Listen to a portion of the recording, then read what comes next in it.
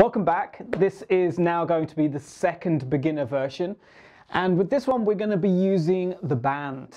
So the idea is we're going to allow the band to help pull us up onto the bar. Okay, so uh, with this, what you want to try to do is put your feet into the band. Okay, so essentially it's going to be uh, its maximum length when you are holding the bar. Okay, so at this position, you want the band maximum length.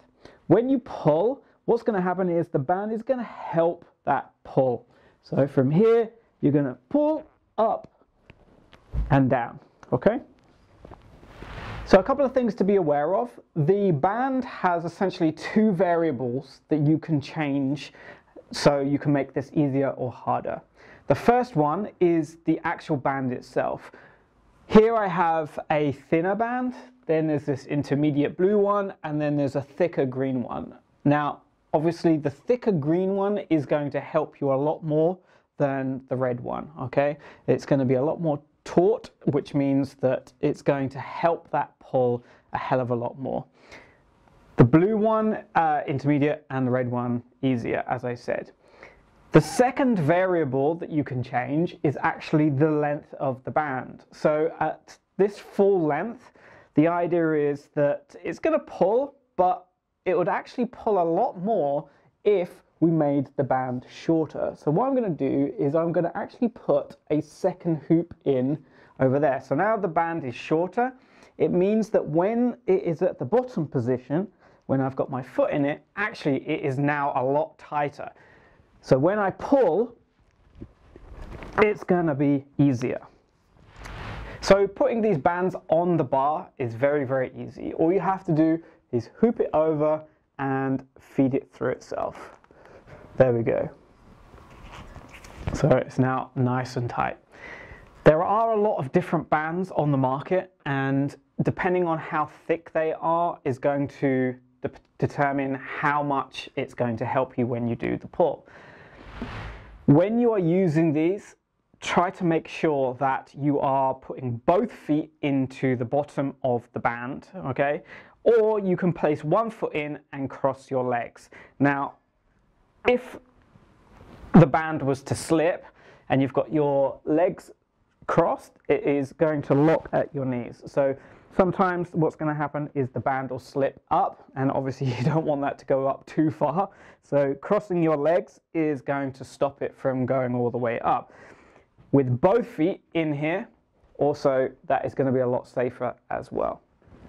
Now, using these bands does have its positives and negatives.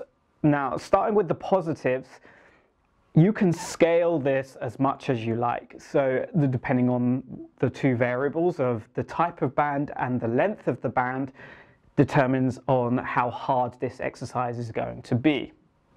And one of the other things that is actually good is the fact that you can put yourself in a very good position that replicates a normal non-banded pull-up. So you're in exactly the same position as you would be if you are hanging on the bar without it. So the, the bands are very good for body position. So the bands are definitely going to help, but you've got to be aware that they're only helping for a certain range of motion. At the absolute bottom, they're going to be helping the most, but the more you pull, they're going to be helping less. So definitely towards that top range part, the bands are not going to be helping at all, depending on the length of the band, obviously, but generally at this length, at their normal lengths, the top part, you're not going to get any help at all from the bands. And we want to look at other variations that enables us to do the full range and it's going to help us the full range. So it's a definite negative with the band is it only helps us a part of the way. So one of the other obvious negatives is the fact that you need a band. You have to go out and buy these bands. So obviously you can't go outside straight away and expect bands to be hanging about. So it is a definite negative that you're going to have to invest in the bands a little bit.